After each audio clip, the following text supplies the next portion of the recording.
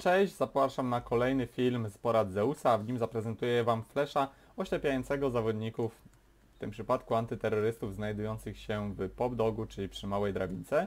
Ustawiamy się tutaj przy tej ściance. Kiedy już zrobimy blokadę, e, po prostu tą ściankę się zablokujemy.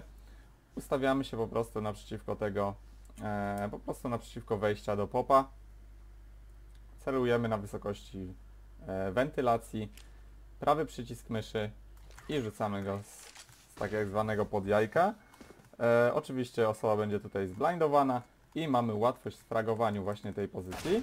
Jednak, jak widać, jedna pozycja nie będzie oślepiona i ta pozycja jest właśnie tutaj przy ściance, gdzie po prostu będzie e, no, zawodnik stał i nie będzie wcelowany tak, w, w tego popa. Tak? E, I co można z tym zrobić?